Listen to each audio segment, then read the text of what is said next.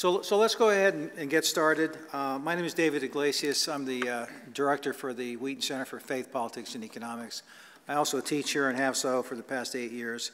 Uh, one of the things that I get to do is bring in really interesting speakers that talk to political and economic issues. And uh, I forgot who it was who talked to me about supply chain. Well, let me tell you a quick story about, uh, about a man that I know pretty well who wanted a car. So he went to the Toyota dealership and he ordered a car thinking that it would be on the lot or be here in a couple of days. Well, this gentleman had to wait for four months.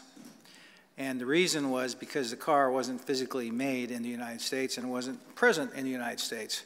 I asked, the, or I, the, the man asked, uh, the uh, salesperson, so is this normal? And the salesperson said, I've been doing this for 30 years. I've never seen this before. Um, so you might have to wait up to six months. Well, to make a, a long story short, it took four months uh, for the car to arrive, and uh, I enjoy driving it a lot. Uh, but then uh, the, the thought occurred to me this is happening on a massive scale. I did some research, and Scott is really an expert on supply chain issues. Let me quickly read you his bio. It's fascinating. He's a director of general economics at Cato's Herbert Stiefel Center for Trade Policy Studies. He writes on international and domestic economic issues, including international trade, subsidies, industrial policy, manufacturing, global supply chains, and economic dynamism. He's previously taught as a visiting lecturer at the Duke University Law School. He's taught both international trade law and international trade policy at Cato, he practiced law at White and Case. Uh, he practiced international trade law. He uh, litigated national and multilateral trade disputes. Uh, so he also joined Cato, became an adjunct scholar in 2013. He did trade policy research, authored numerous self, uh, policy papers, op-eds on trade and economic issues. You can see him on YouTube. That's one of the reasons, or one of the places I check, check, checked him out but he's also on TV, radio, and print media. He's got his BA from the University of Virginia, go and also uh, the uh, UVA School of Law. So without further ado, please give him a warm Wheaton welcome, Mr. Scott Lincicome.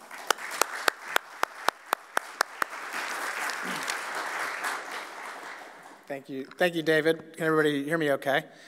Uh, good. So um, I'm, I'm going to talk, of course, about supply chains. Um, I, I, hope uh, you will find it interesting. I was actually walking the hallway. I saw two young ladies out there. They looked at the sign. One said supply chains, and they walked off the other way. I almost want to grab them and say, no, this is really cool, but I resisted. Um, I am very big on YouTube, I should have mentioned, I guess. Um, right. Um, so I'm going to start um, with the kind of economic story, or what I'd call the macro picture of supply chain stuff.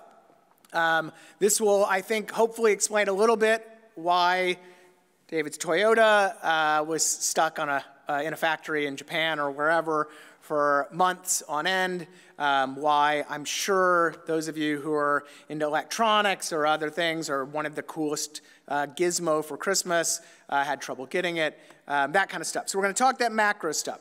But then I'm going to dig, dig into policy a little bit. Because I think one of the undertold stories of the supply chain crisis, which is still going on, uh, thank you, Vladimir Putin, uh, but one of the undertold stories of the supply chain crisis is all of the US policies that are in place, that have kind of been in place for decades, that we really never think about, certainly not with respect to supply chains, how these have all contributed and, and I think exacerbated the supply chain problems we're having here in the United States. Because, um, look, we can't fix global pandemics overnight, right? But we can fix policy. Uh, that's one of the things we try to do at Cato fix, make better policy. So it's important, I think, to, we'll talk about that macro, econ, global supply chain stuff, but then we're going to dig in a bit um, and get really nerdy on, on the policy side as well. So let's start with what happened and why it happened, and then, again, what we can learn from it, and start with the macro stuff. Well, look, it may sound silly or simplistic, but much of our supply chain crisis was just a global pandemic doing its thing. Um, you had major exporting and importing countries unexpectedly shutting down and reopening, only to shut down again, all on different schedules. Um, abnormally high worldwide demand when we started to reopen, fueled in part by aggressive monetary and fiscal stimulus. Um, some of that, I think, no one would question in the depths of the, of the depths of the pandemic. Some maybe a little later we might question. Regardless, tons of stimulus boosting demand, but also people had pent up savings from being stuck in their houses and economies reopening. Retailers were stockpiling or restockpiling goods they couldn't get and then just simply increased consumer appetite for goods. It turns out that when everybody's stuck in their house and they can't go get massages or go to restaurants, they buy furniture, re renovate the house, do that kind of stuff. So we've had an increased appetite for what we call durable goods, um, things like lumber or furniture, like I mentioned, or cars. Um, well, that all of that demand then read, ran headfirst into finite production and transportation capacity warehouses, ports, factories that just can't expand overnight. But it also ran into corporate strategy, what we call lean inventory management systems. What that means, really simply, is that companies, it costs money to hold inventory, so you don't hold a lot of it. And with developments in information technology and all those cool types of things, the internet, global shipping, companies over the years held less inventory because they could save money, they could make things better for consumers, cheaper for us. Consumers are always pushing for better prices, at least most of the time, and that led to this lean inventory management style that was super trendy. Um, it also ran into labor shortages. We, I think, have all experienced this somewhere, at least seen help wanted signs out there pretty much omnipresent these days. Well, look, we can blame some of the labor shortages on whether it's President Biden's policies or immigration policy or whatever, but some of that is just look, it's a global pandemic. People were homesick. They were afraid to go back to work or they couldn't go back to work. All of those types of things. Tons of demand, limited finite supply that's inflexible, running headfirst in each other. And you get take that macro stuff, you throw in factory and port closures due to COVID outbreaks or other emergencies. We had a freak ice storm in Texas, if you'll remember. We had an earthquake, or uh, sorry, a, a, a fi major fire in Japan. We had a couple of these other major emergencies. Um, and you put that all together and you have a surefire recipe for supply chain chaos. Um, supply chains developed over decades. It's kind of this delicate choreography of sorts. Um, bunch of ships go to ports, and then they take goods from place to place. They put goods together in other places. Your iPhone, by the way, it might say made in China. It's actually made in about 50 different places, all put, assembled in China, then brought to the United States. That's a very delicate dance. Well, you throw in all those things I just mentioned, and the dance is going to get pretty screwy pretty quick. And that's, of course, what happened. And that's even before Russia decided to invade Ukraine. Um, you know, I was joking uh, before dinner tonight that I've given this talk a few times in the last year. Um, it keeps changing because another catastrophe comes up. First time uh, it was the Delta variant, then the next time it was the Omicron variant, and now here we have uh, Omicron 2, uh, Russia, and a major outbreak in China that's causing all sorts of lockdowns and problems there. So supply chain chaos is somewhat inevitable in that sense. So intense stress on the system eventually results in, like I said, limited supplies and higher prices. When you have a lot of demand chasing not a lot of goods, you get higher prices. That's Econ 101. these problems chilled economic growth in the United States, along with uh, congressional Democrats' economic agenda and the president and the party's political prospects. So we saw the White House, naturally, establish a supply chain task force and a bottleneck czar. These are real things. That's what they did um, to fix the situation. And they've been trying to work with ports and other players to open up various bottlenecks for about the last year. And to their credit, they've done some things that have, have, have worked a little bit on, on the margins. Now, meanwhile, politicians of both parties have seen an opportunity to promise easy, protectionist fixes, tariffs, subsidies, localization mandates. I'm sure you've heard this. We wouldn't have supply chain problems if we didn't have supply chains at all. We should just make everything here, right? We'll, we'll get to that in a bit. Um, but the reality is, on the macro side, as you probably can guess from this intro, there really isn't a quick, easy fix to the situation. Um, we thought we were past peak problems, and then Russia happened, and then outbreaks in China, uh, plus those COVID zero lockdowns happened. So we have more problems. But it's going to take time to work this out. Companies and analysts expect supply chain hiccups to now last through the rest of this year. Um, why? Well, the biggest reason is just time. It takes time to clear backlogs, to refresh inventories, to expand ports, to build new warehouses or new ships, to train workers, to make other capacity expansions throughout the supply chain. It takes time to rejigger supply chains, maybe to get stuff out of China or move it to Vietnam or to Mexico. All of that takes time. You have to qualify new suppliers, you have to set up new transportation networks. All of that takes time. Um, the calming of global demand, as I mentioned, won't happen overnight either. Eventually, we're going to stop buying furniture, I think. I think my wife's going to stop buying furniture. I keep asking her to. Eventually, we're going to move back more towards services. We're starting to see that happen in the United States. That will help happen elsewhere. As people demand fewer goods, you'll have a little less stress on that goods supply chain. Um, but it's not going to happen overnight. And again, we still have potentially other variants, China, Russia, other things lingering about.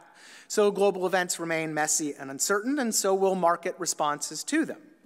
That's just how it's going to work. But that's the macro picture, and again, things that, for the, uh, in large part, are, are out of our control. Uh, but there are micro things, microeconomic issues, policy issues that, I, that are under our control. Um, some of this uh, is, is good, and some of it's not so good. Um, let's start with the not so good.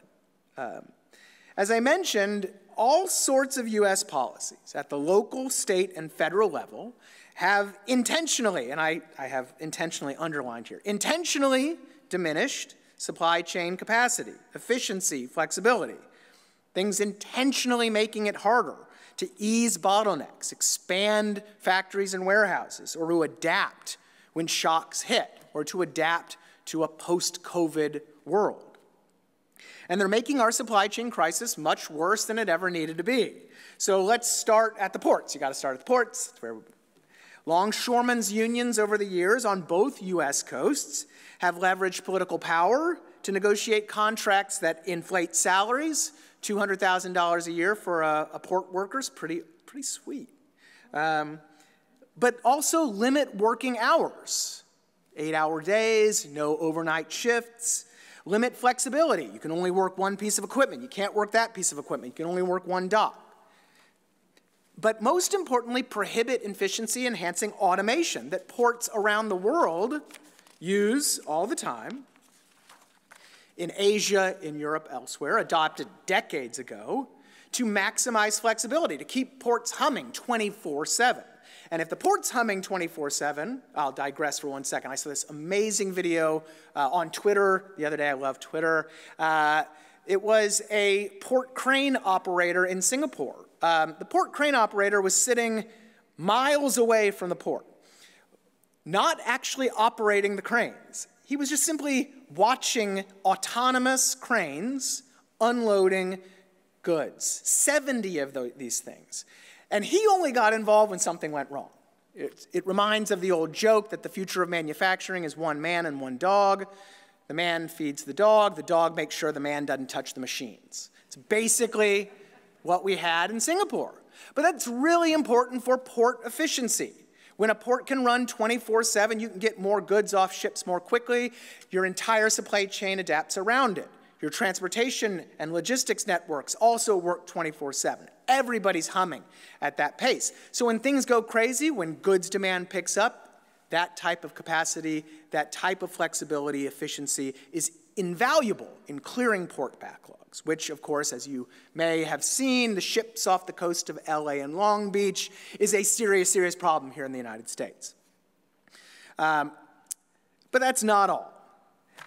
We have this thing called the Jones Act, combined with this thing called the Foreign Dredge Act, that are centuries old, about a century old each law, that require all port dredging in the United States to use American made ships, crewed by Americans, owned by Americans, and flagged in the United States. Now, this sounds great, right? American made. But it's dramatically inflated the cost of port dredging. You limit the supply of available port dredging, again, prices go up. Well, what does that mean? It means that we have fewer berths narrower port gateways, and ports that still can't take the biggest, most efficient container ships in the world. Uh, if you like podcasts, Bloomberg just this week did a whole podcast on the Foreign Dredge Act. I highly recommend it. It will show you just how much this totally unknown ancient law diminishes American port capacity. Again, right as we needed it. But I'm not done. Local zoning laws, especially in California, where our most important port complex is, out in Los Angeles and Long Beach, prevent ports and other companies from quickly expanding container shortage. Now, what, had, what happened? That had led to containers stacking up at the port, stacking up on streets, and slowing processing. So ships can't unload their containers because there's no place to put them at the ports because the ports can't expand. Uh, so as a result of these and other policies, not one American port in the United States ranks among the most 50 efficient in the world, according to the World Bank. In fact, out of 350 ports ranked, including a lot in very poor developing countries, the LA Long Beach Port Complex ranks 330th, give or take, in terms of port efficiency. No wonder then that ports have struggled to process record container volumes, or that port trucks are waiting record times to pick up cargo, and that there's been only one major port container terminal expansion in Charleston since 2009. So we've gone almost 15 years, 13 years, one port expansion here in the United States. And believe it or not, that port terminal isn't even operating at full capacity because it's mired in litigation after the local union there sued the port operator, the state of Georgia, uh, sorry, state of South Carolina, for daring to use non union labor. So that port's now working at about half capacity right now. That is not good when you're in the middle of a supply chain crisis. But that's just the ports. Bad policies have also diminished available trucking and warehouse capacity. So let's go back to California. California environmental and zoning regulations have discouraged warehouse construction near the ports. So it takes years longer to build a warehouse in California than it does elsewhere. It takes about nine years, according to Bloomberg, to build a warehouse in California. Um, supply chain crisis has been going on for about two years. You'd think we'd be able to build a bunch of warehouses by now to handle additional cargoes. Not in California, you can't. Uh, by contrast, lightly zoned Houston is throwing up warehouses everywhere they can, everywhere they can, and as fast as possible. As a result, Houston is winning new business that used to go to LA and Long Beach. Shippers are now willing to spend an extra 40 days on the water going through either the Panama Canal or the Suez Canal to avoid California and that clogged port system. If that doesn't tell you what you need to know, I, I don't really know what will. California environmental regulations also have reportedly pushed some truckers out of the industry because it made their old trucks, which were old, environmentally obsolete. So we had fewer port truckers working in California too. Not very smart. The US, sorry, there's more, has imposed tariffs 25% and then 221% on intermodal chassis. These are essentially it's basically a piece of metal with wheels that truckers use to put containers on the back of and haul stuff from the ports. Well, we put tariffs on those from the largest supplier of intermodal chassis in the world, China, which has helped create a chassis shortage in the United States that is helping prevent ports from getting cleared. And while maybe tariffs on Chinese chassis make sense in the good times, US law expressly prohibits suspending these tariffs in any way during emergencies. So President Biden, even if he wanted to, can't say, oh, okay, maybe we don't need chassis tariffs in the middle of a supply chain crisis. Nothing you do about it because US law is rigged to ensure that those tariffs stay in place to, of course, to appease domestic interests. We've also for decades barred Mexican trucking companies, which have the largest and closest supply of potential trucks and drivers, and who have been certified by the United States government as safe and clean in various pilot projects. Well, they are prohibited from carrying freight within the United States or from Mexico to inland U.S destinations. So, what happens is Mexican trucks go to the Texas or California border, they drop their cargo at the border, then American trucks come, they pick up that same cargo, and they deliver it the rest of the way. As you can imagine, this means slower deliveries, fewer available trucks, and oh, by the way, it's totally in direct violation of our former or NAFTA and then now USMCA trade agreement commitments. Current immigration backlogs totaling millions of potential workers, still persist in the United States. Those add not only to the current labor shortage we're experiencing, but they specifically exacerbate the supply chain crisis because a lot of immigrants work in trucking, in warehousing, and in related fields, so fields that are specifically fueling our supply chain problems. Indeed, even as the United States has reopened to foreign travel, visa backlogs persist, and many consulates abroad remain closed. So you can't get visas renewed, you can't get new visas, and we have millions of potential workers sitting outside our borders dying to get here and work in the middle of an American labor shortage, and they can't. Now, finally, let's go back to the Jones Act. We at Cato, we love, hate, love to hate the Jones Act. It mandates, like I said, ships carrying freight between U.S. ports be American made and owned, and thus really, really expensive. So, what does that do in the real world? Well, it means that people don't use ships to carry freight from US port to US port. Instead, that same freight, what happens to it? Well, it gets pushed inland onto rail systems and onto roadways. So if you've ever driven up I 95, as I have to do all the time from Raleigh to Washington, and you're surrounded by trucks, well, you can thank in part the Jones Act because it has pushed cargo inland instead of into what we call feeder vessels. In fact, Labor unions recently told Pre- uh, President Biden that one of the things he could do to alleviate the supply chain crisis was, believe it or not, waive the Jones Act so that we could have foreign feeder vessels coming servicing smaller ports. We have hundreds of ports in the United States. It's not just Charleston and Long Beach and those. Um, and that would alleviate port and road congestion. So far, however, no dice. So, overall, none of this is good for a supply chain that's in desperate need of trucks and warehouse space and workers. And I won't even get into all the other policy obstacles, like Buy American procurement restrictions, or steel tariffs, or lengthy environmental reviews under the National Environmental Policy Act that would inevitably undermine federal infrastructure spending and other things that, would, that are specifically intended to try to fix our port log jams. I mentioned the port czar earlier. Well, our port czar has said, well, we need to expand the ports. Well, unfortunately, those laws I just mentioned and the Jones Act, the Dredge Act, and others are going to make that take forever. Supply chain crisis will pretty much be over, I hope, by the time any of those projects even get underway. Port Czar also wanted to move ports to 24 7 operations. Great idea, right? Well, like I said, the entire system is not built on a 24 7 model because the ports only worked, you know, 12, 15 hours a day. So it's like trying to throw your car into fifth gear when you're sitting in neutral. For those of you, we used to have these things called stick shifts. You had a clutch, you had to go from first to second to fifth, sorry. But anyway, that doesn't work. The car doesn't move, it stalls out. And that's exactly what happened. The 24 7 move was a total dud because truckers and warehouses and everybody just can't adjust on the fly like that. So that's a pretty depressing pretty depressing state of affairs.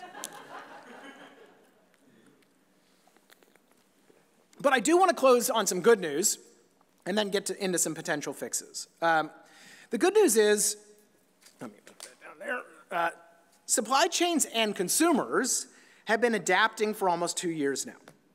And these natural, mostly free market adjustments, along with our baseline level of wealth and abundance, have made the supply chain crisis really just a series of temporary inconveniences for almost everyone, even right now.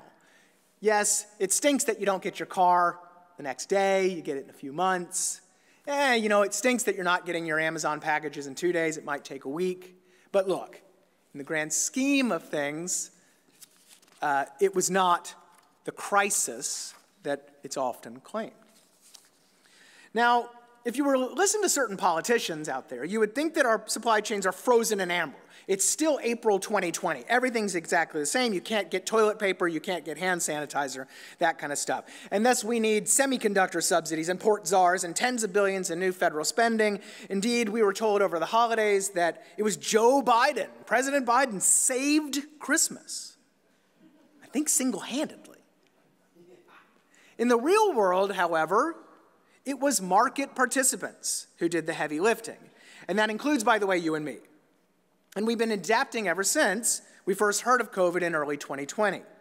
So, on the corporate side, we've seen companies investing like crazy in warehouses and ships and trucks and software and related logistics technologies investing in the production of high demand goods and services, even in the United States and abroad.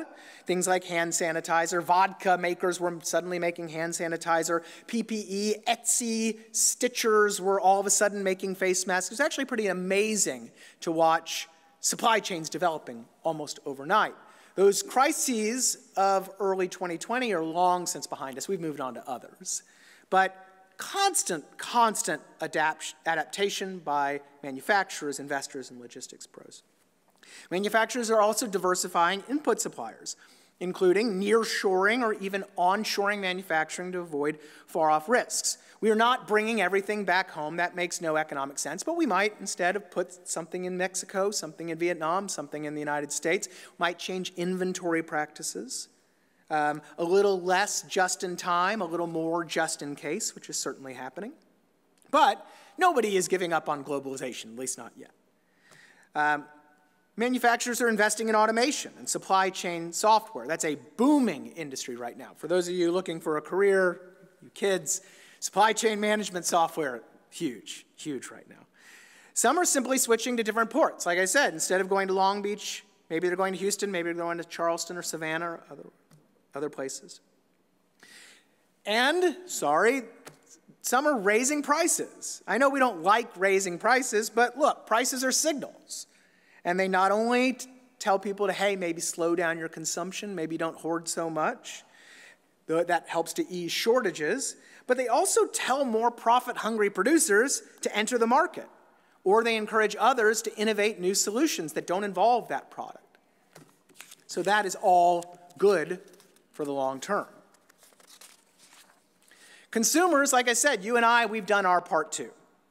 Consumers bought different goods or different brands when things were out. We just simply shifted a little bit, we compromised a little bit. We moved up our Christmas purchases and other purchases. We bought in August instead of, well, uh, for me, December.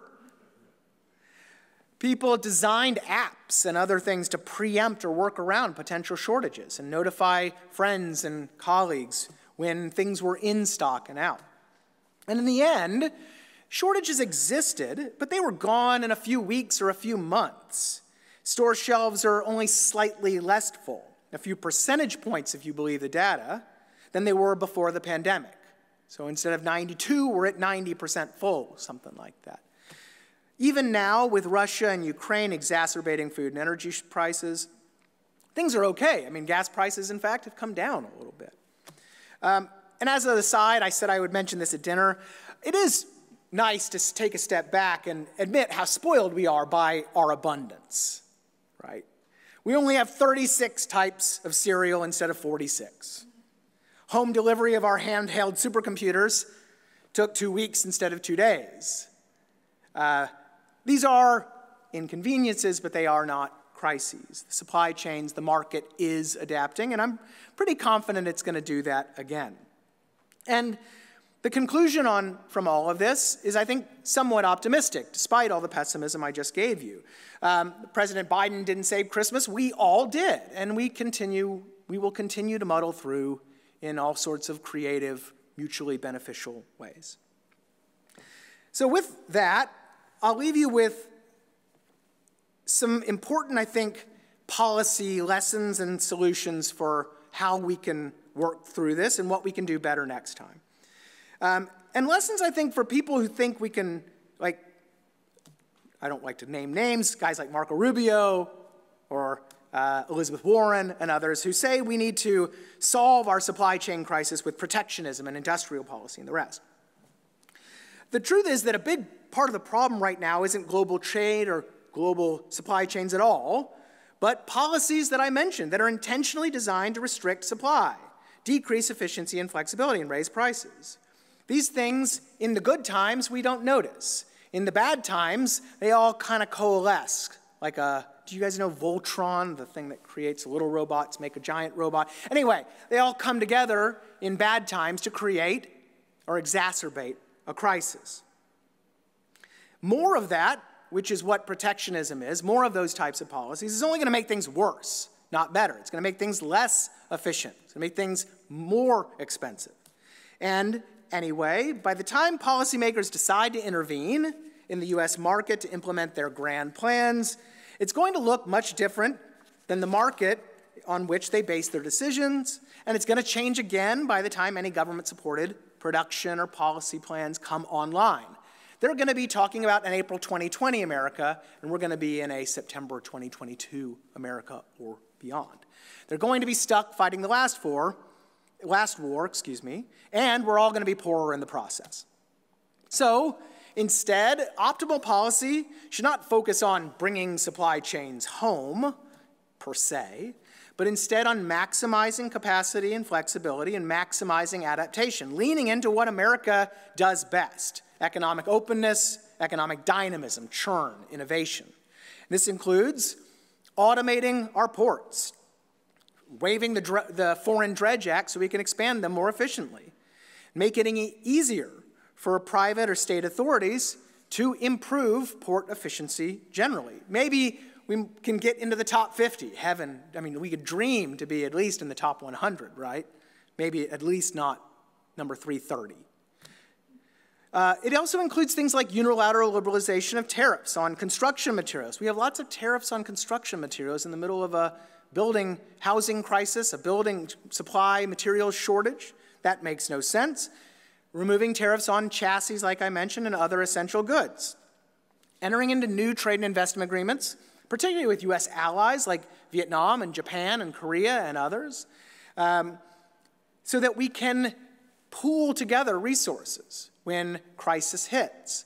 In fact, David mentioned cars. It turns out that the best thing that suppliers did during the pandemic was diversifying supply. So they had more countries supplying automobiles. Those were the automobiles that actually were more available. The automobiles that were hardest hit were pickup trucks. We have a 25% tariff on pickup trucks. Most pickup trucks are thus made in America. The biggest backlogs were in, guess what? Pickup trucks. So the best thing we can do is, again, expanding the pool, expanding that, and new trade and investment agreements can help do that eliminating Buy American restrictions for U.S.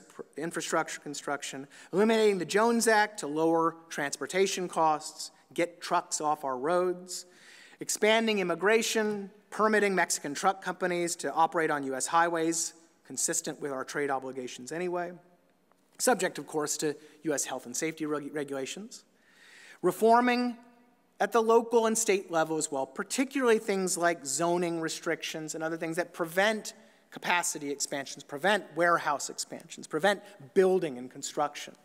At least make it really, really take a long time. Now, look, if we did those things, we're not going to eliminate the chance of another supply chain crisis. Stuff happens. Before the global pandemic, we had the Fukushima earthquake that shut down a lot of the Asian supply chain. And then again, we remember we had those freak ice storms at Texas, in Texas, that shut down a lot of the American supply chain. Stuff happens.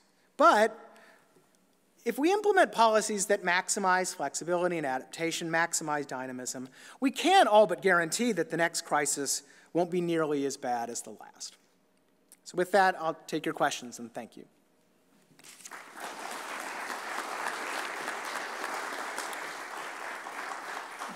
Thank you very much, Scott. Uh, folks, uh, for your questions, I already have one on Slido, but please go to www.slido.com, that's S-L-I-D-O, and enter the number that's listed there, 642623. Here's the first question, Scott.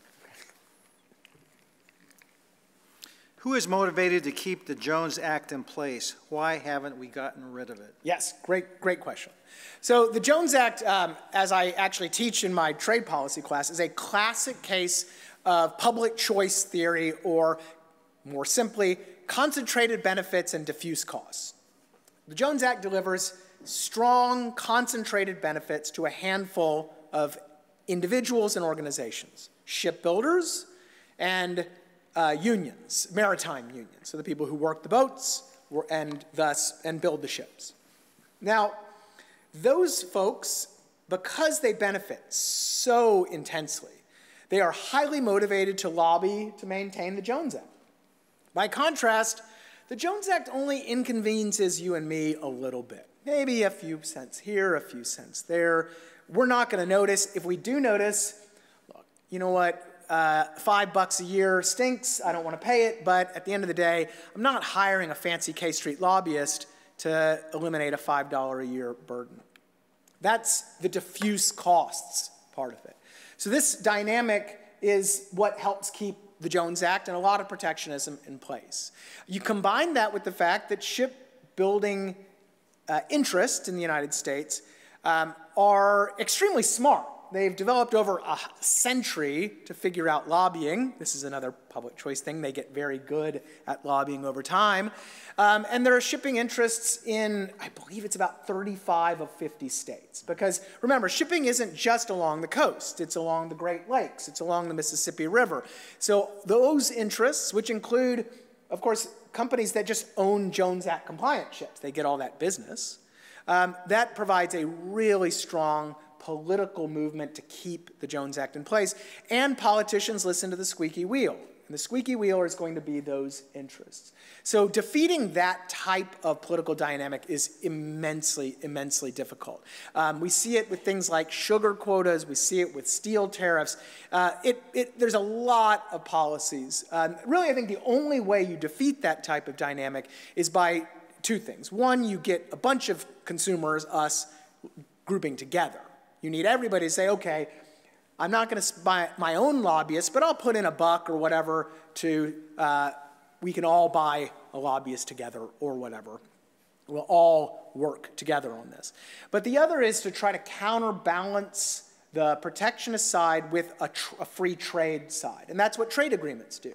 So the, trade agreement special sauce is not that they're great economics. They're actually kind of lousy economics. They're pretty mercantilist uh, in the way they're set up. Exports good, imports bad. That's kind of how trade agreements work. Um, but what trade agreements brilliantly did is they got corporations that wanted to export, that wanted to access foreign markets, to start lobbying for those agreements.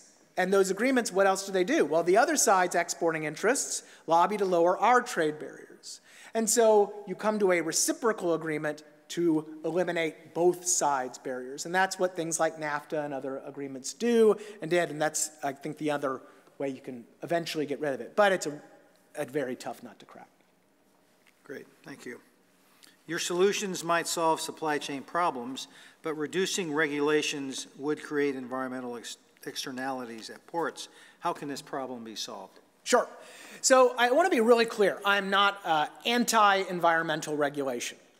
Um, I just simply want us to have a streamlined regulatory approval process. Uh, the United States environmental approval process is months and months longer than places like Australia and Canada and a lot of other developed countries that have very clean environments. So certainly there are some environmental regulations that I would want to take an axe to. But in general, particularly when you're talking about environmental impact reviews and stuff, it's simply a matter of time. Um, one, there must be a time limit on these reviews. They cannot last years and years. There was a study that was done a few years ago about the Obama era stimulus package that said that projects were stuck in, it was like six years of environmental review, so much for shovel ready jobs and all of that, right? So that's the first thing. You need to have a time limit. The other is you have to stop what we call the vetocracy, which is current environmental law allows individuals and very small minority organizations, and I don't mean minority in that sense, I mean just small organizations like the Sierra Club or whatever, to block projects via litigation, not via very meritorious litigation. They can just file lawsuits after lawsuits after lawsuits. And that eventually, if you're a profit seeking entity that has investors, you're going to abandon the project.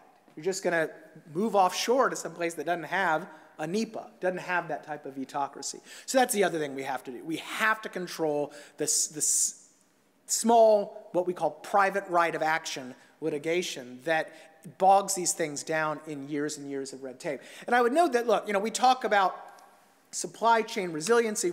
Our politicians talk about reshoring supply chains and all that. Well, look, you know, environmental goods are really big right now, solar panels, electric vehicles, and the rest. Um, you need a lot of what we call rare earth minerals. You need a lot of mining yeah. to make these products. We have a lot of these minerals. We don't have a lot of them in production, and a large part of it is uh, this vetocracy I mentioned. Mining projects in places like Nevada, Montana just get shut down um, that they could be done cleanly, they could be done in first world environmental standards, but they just get shut down after years, if not decades, of environmental litigation. Better remind us what NEPA is. Uh, the National Environmental Policy Act. So, back in the 60s and early 70s, after some quite legitimate environmental problems, uh, federal law really turned to this private right of action model, allowing private citizens and private organizations to sue to stop projects on environmental grounds. And I don't doubt, I don't question the intentions of the drafters of these laws. But it's really, really clear. And this, by the way, this is people on the left are saying this as much as us crazy libertarians on the right or wherever we are. Uh, it is, is very much a bipartisan uh, criticism these days, that these laws have really spiraled out of control. They prevent, for example, wind farms off uh, the coast of the Hamptons. Those are now being blocked because, not because the houses that can, can actually see the windmills, but because they're going to have to run some cable past the houses, and they've now sued to stop it on bogus environmental grounds under NEPA. NEPA. So that is, that is a huge, huge problem, this vetocracy. Um, and we would go a long way to improving not just supply chains, but other economic issues if we, if we axed it, or at least dramatically reformed it. And here's a question that is uh, reminiscent of something we talked about over dinner. With the rise of crypto, it is now easier than ever to transfer funds between countries. To what extent can crypto help to diminish issues caused by the state? Well, I, I want to, I'll preface this, I'll go back to my lawyering days and say I'm not a, a crypto expert. I'll give you what I was saying at dinner two general things about, well, three general things about crypto. One, crypto is, I think, a really excellent example of how this whole claim about the death of globalization is pretty much nonsense. I mean, crypto transactions are happening constantly over across international borders, um, and, and that is a classic case of what I would call new globalization or re globalization very much a very active part of the global economy these days. On the bright side, crypto, I think, holds a lot of potential uh, uh, benefits. Um, the one that I always like to talk about is crypto is incredibly anti authoritarian, right? It's very hard for Beijing or Venezuela or Cuba to track uh, individuals that are trying to operate in underground economies or trying to pursue you know, freedom fighting initiatives, whatever it is, um, when they're using Bitcoin and other, other types of cryptocurrencies. That's really, really great.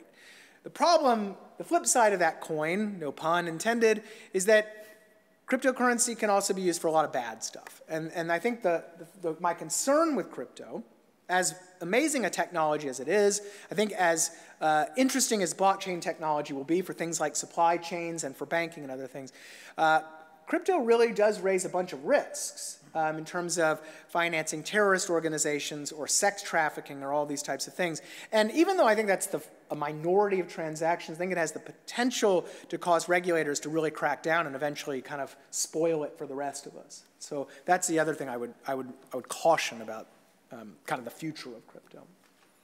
Are other countries with more flexible policies experiencing fewer supply chain issues than the United States currently is? Uh, yes. The answer yes. Um, everybody is going through some of this, undoubtedly. Um, but if you look at kind of detailed port and supply chain trackers, um, and I would note mainly before Russia Ukraine, because Russia Ukraine really is going to crush Europe and, and even parts of Asia as well. But if you look at pre the Russia Ukraine crisis, if you look at those supply chain trackers, you see the United States suffering disproportionately. So while, uh, let's say, a port in uh, the Netherlands had five, ten ships parked offshore. Uh, the port of LA had 80, right? Um, and while uh, they had, you know, while your days at port were six or seven instead of five, ours were at 10. So the data, this kind of objective metrics showed that we were struggling more than a lot of places that had more automated ports and more flexible transportation and logistics systems. And again, I would note a lot of that is because those places were running 24 7, those places were automated before the crisis. And I think one of the lessons from the crisis is that you can't plan for a crisis in the middle of a crisis. You have to do these things beforehand. And it's hard to muster the political will to fight the longshoremen unions or to fight the shipbuilders and the Jones Act lobby in the good times. But that's precisely when you need to do it so that when the next crisis hits, you're not stuck, you know, with your hands tied behind your back. So this is from a maritime historian. Okay. Jones, the Jones Act is just part of a larger shift. The United States has no presence on the high seas. We are completely dependent upon others. Is this a security issue? Um, I, I, well, I think it is a security issue that U.S. shipbuilding is in such dire straits. Um, I think it's a security issue that the maritime, the U.S. Merchant Marine, if you look at charts, uh, has gone down like this. I think it's an issue that um, Jones Act ocean-going vessels and tonnage is going like this for the last 50 years. But the problem is that's all happened under the Jones Act, which was specifically supposed to prevent that from happening. It costs about four to five times as much to build a ship in the United States as it does abroad. And I'm not talking about China, I'm talking about Europe, Korea, and other places. This is not just about China. China does make a lot of ships, but it's not just about China. So why does it cost four to five times as much to make a ship here in the United States? Because Jones Act shipbuilders have a captive market. And when you have a captive market, you charge whatever prices you want. You don't innovate. Demand kind of craters because, look, prices are so high. Remember, I talked about those feeder vessels. You don't have that type of maritime activity. But you have this nice, cushy, slow, uh, profit stream and you don't change. And that's what you end up getting. You get this kind of slow zombie industry that is around but not globally competitive. So, what can you do? Well, uh, my colleague Colin is, he's the real Jones Act expert. I just basically repeat what Colin says. But he talks about how you don't have to just completely liberalize the US maritime shipping industry overnight. You don't have to totally repeal the Jones Act overnight. But there are some things you can do, allowing uh, much more foreign content in American assembled ships, for example. Um, allowing for foreign crews or foreign investors. Those types of small things could still be half measures that would get things a lot better than they are right now. And right now, it's just an absolute uh, debacle. Hey, folks, uh, keep those questions coming. They're, they're stacking up like ships outside of Long Beach right now. But, but, but thank you. I'd much rather that than there be no questions. Here's the next question, Scott. On account of Democrat and Republican politicians alike largely opposing free trade, is there any hope, or are we all merely slaves to an Overton window? Yeah. Um, well, I think in the near term, there's not much hope. Um, if you look at President Biden, who was supposedly the the globalist of the two candidates. Um, he's kept most of the steel tariffs. He's kept all the China tariffs. He loves the Jones Act. He praises the Jones Act all the time. Um, he's, it's very much kind of top down, buy American rules, Davis Bacon rules, all that kind of very top down. He's a very classic, what I'd call Dick Gephardt Democrat, right? Very um, union first Democrat. Not a lot of hope there. On the Republican side, um, as long as it remains the party of Trump, um, you're going to have issues there too. And it looks like for at least one more election cycle, you're going to have Republicans at least parroting the kind of Trumpian protectionist economic nationalist line. Um, the guys that are angling for the presidency, like Marco Rubio or Tom Cotton and others, seem to be going that route. But I'll give you uh, two reasons for optimism. One is if you look at the polls on trade, large majorities of both Republicans and Democrats still claim to support open trade, foreign trade, globalization, you name it, which I think is kind of surprising. Um, it turns out that even in the midst of a supply chain crisis and a global pandemic, people still like their iPhones and like their, uh, they understand that we're part of a global economy. They understand that globalization, for all its warts, has a lot of good stuff too. So that's the first good thing.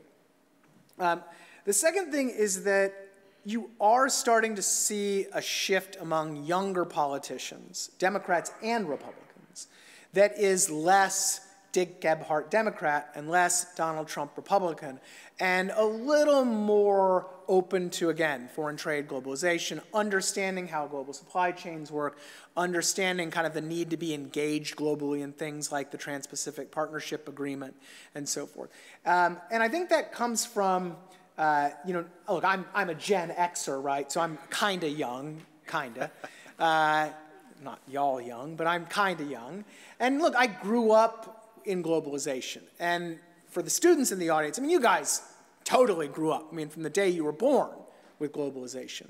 Um, we were talking at dinner about how people, you know, Gen Z, Gen Y, whatever you want to call them, um, participate in the global economy every day in ways they don't even think about, whether they're playing Fortnite and transacting in virtual currencies or on watching some Swedish YouTuber or whatever.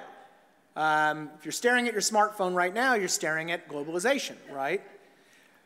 At, growing up in that, being so steeped in that, uh, you know, reversing that type of cultural entrenchment, I think is, is pretty much impossible. So I think that's the other thing. You know, you talk to young people about reversing globalization, and outside of the kind of die, die hard, you know, uh, they're going to political conferences and that kind of stuff. Outside of them, there's not a lot of interest in that too. In the State of the Union, President Biden talked a lot about the need for American manufacturing. Protectionism is bound to hurt, but is patriotic trade sentiment itself problematic? Well, I think it is if it's misunderstood. Um, so I'm a big fan of American manufacturing, to be really clear. Uh, the United States, believe it or not, is still the second largest manufacturing nation in the world. Um, per worker, we produce more output manufacturing output than any nation in the world. We absolutely crush China. China just has a lot of workers, right? Um, but if you compare us to other developed economies like Germany or Japan or whatever, the United States manufacturing worker remains insanely productive. And the United States manufacturing sector remains extremely productive as well with a lot of output. But that manufacturing sector is highly globalized both in terms of exports, we send a lot of planes and satellites and other stuff abroad, but importantly in terms of imports. It turns out that our largest exporting firms are actually our largest importing firms too. Again, Boeing is a great example. If you ever want to Google it, uh, when a Boeing plane is broken down and you take the parts by country of origin, made all over the world, assembled in either Washington State or South Carolina, um, that is a global operation and then sold abroad. So, patriotic protectionism ends up actually undermining American manufacturing, at least modern American manufacturing. It might help some integrated steelmakers and some textile manufacturers and a few other firms. But for the vast majority of American manufacturing, things like steel tariffs end up hurting American manufacturing. And so that's what concerns me, is that a proper understanding of patriotic, pro American manufacturing would be one that is highly enmeshed globally. Um, whether our politicians get that is another, another question. So we've got time for a couple more questions, so here it goes.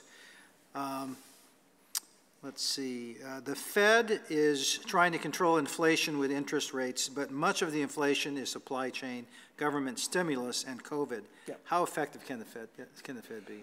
Great question. Uh, so let's start at basics for those who don't know what the person who asked that question knows. So inflation is going to be either a demand side problem or a supply side problem. Um, it's impossible to know how much of each is contributing. Um, if you listen to most folks, they would say that a lot of it is demand, because demand output, as we measure in GDP, is actually way over trend now. We have way overshot the trend we were on before the pandemic. So that's a sign that we're actually producing more. The supply side's actually functioning okay. That mainly our inflationary problem is a demand side problem. But undoubtedly, some of it is supply side restrictions as well. And it was particularly earlier in the pandemic that was the case. So if you accept my thesis, and of course you all should, um, there is a bunch the Fed can do. Um, the, the Fed, you know, I think today talked, um, Powell, Fed Chair Powell talked about raising rates by a half percentage point. That's a pretty big hike. We're all kind of expecting that. They're going to need to do that a few more times, it seems. Um, so the Fed can cool demand, can get us slowing down. Um, but I think the really, really big question mark is whether we can do that without going into a recession. Because it's kind of like landing a, a plane in the sense they talk about a soft landing or a hard landing. Half, uh, half point increases are coming down at a pretty hard angle. And whether you can actually land the plane without crashing it is a, is a big question mark. I don't, I don't really know. Um, but going back to the original point, um, I, I, certainly think, you know, certainly there's some supply side stuff. Certainly, again, these policies I mentioned matter um, because they've been just making things worse. But a lot of it right now is demand side. And so I do think there's some hope that the Fed can steer us through it. Uh, here's an interesting counterfactual. Uh, how bad would it be right now if a ship got stuck in the Suez Canal again? Not, yeah, but not that bad. No, I'm, look, we had a ship stuck in the Suez Canal for, what was it, two weeks? At least. Everybody was saying it was the end of globalization. And believe it or not, for those of you who read my newsletter a couple weeks ago, we had more volume through the Suez Canal last year than any year in history. So, this is the type of thing that I talk about when I say it's everybody's adapting, globalization's still going on despite all these crises. Um, people kind of find a way to muddle through and get things done. And certainly I think that's the case again. If a ship were to get stuck, as long as it's not there permanently, if it's another two weeks, uh, things would, would struggle, particularly on the back of all the other things that are happening. But uh, my money's on finding a way through it. So what I'm hearing you say is the Suez Canal is resilient. Yes, correct. Okay. Final question of the night is, uh, is this. What would it take to get the Mexican truckers to be able to get their loads into the United States. Um, it seems inefficient and real, it seems inefficient and relatively easy to fix. It is easy to fix. So, for those of you who read National Review, uh, there was actually a fantastic article, deep dive on this issue just this week um, by a, a, friend of mine, Dominic Pino, who wrote this. It's a great piece on all the weeds, in the weeds of the Mexican trucking issue, which is something I, sh I should plug. We at Cato have been screaming about for about 20 years. So this Mexican trucking issue, you know, it should have been done in NAFTA. We should have liberalized services in trucking. We didn't. Um, so successive presidencies have failed on this. But the good news is that this is actually something that the president can fix unilaterally. Um, certainly, the Department of Transportation would have to issue new regulations, and there, there's notice and comment rulemaking and all that very boring lawyerly stuff. But this is not something that needs an act like a new law. You know, we don't need to get Congress involved because heaven forbid you get Congress involved. but uh, so it is something that can be fixed. It's something that certainly should be fixed. Um, the head of Maersk, the giant global shipping company, said Mexican trucking, in his view, was the number one thing that the United States could do in terms of policy to help free up supply chains and help kind of ungum things. Because he said it was just an instant influx of trucking capacity in the middle of a trucking shortage, which makes good sense. I wish we would do it. Yeah, and I'm hoping to take a group of Wheaton students to the Maersk uh, headquarters in, in uh, Copenhagen. Uh, cool. Yeah, it's amazing. Uh, this summer. Hey, folks, please join me in welcoming or thanking Mr.